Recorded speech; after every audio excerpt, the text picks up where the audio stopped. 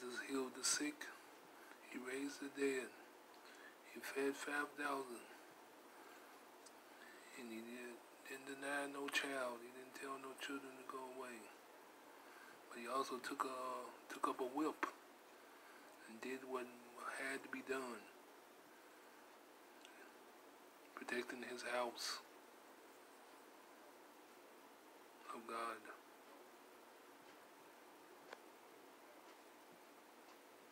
That's the problem these days. You got some people out uh, floating around, TikTok influencers, Christian TikTok influencers, trying to bottle uh, God up as a loving, loving God through and through, which is what He is. But you also got to realize that He inflicts justice when justice needs to be served. He did in the Old Testament, throughout the Old Testament, sticking up for his people. Against the Philistines, as one using that, them as one example, and many others down through the Old Testament uh, scriptures. But people uh, don't don't see it.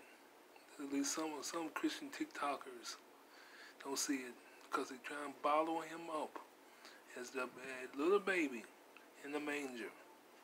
They try and bottle him up as them cute little pictures of him with kids. But he, uh, he's also uh, that same God. He's also God uh, as well.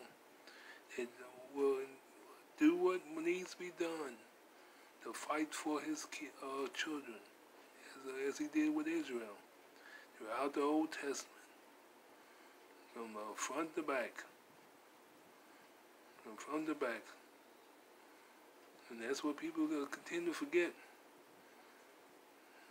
They love the New Testament, the soft version of God, but they, but they forget about the Old Testament, the one that will uh, that uh, inflict the judgment, the righteous judgment,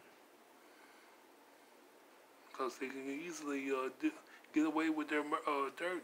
People, some people can easily get away with their dirt as long as they can keep God boxed in into into the New Testament. It's soft and loving and and uh, still in the manger. But it's hard. There's the other side.